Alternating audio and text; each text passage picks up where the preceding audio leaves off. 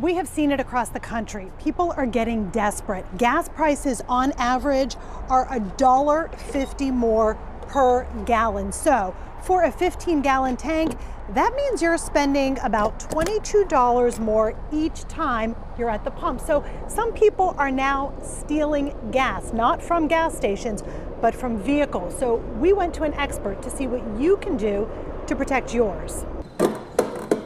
Getting into a gas tank can be difficult, The filler neck comes here into the gas tank. but not impossible. They would have to cut that and then maybe stick the hose in from there because the ball, this the ball normally would be right around this area. Vince Fiore owns Fiore's Auto Repair in Penn Hills. He says many cars have a ball similar to this one that stops gas from being siphoned from the tank, but some don't.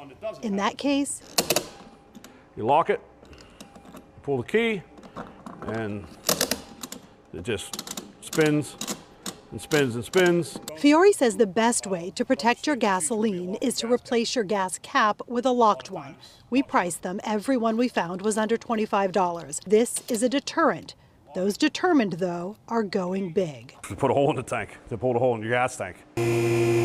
Thieves have been getting underneath vehicles and drilling the gas tanks. AAA suggests to stop that, you park in a garage if you can. In public garages, they suggest parking near an exit or elevator for higher visibility.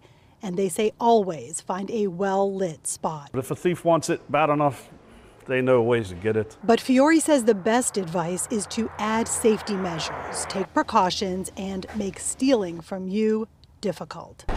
For a closer look at these tips and how you can protect your vehicle, go to WTAE.com. Marcie Cipriani, Pittsburgh's Action News 4.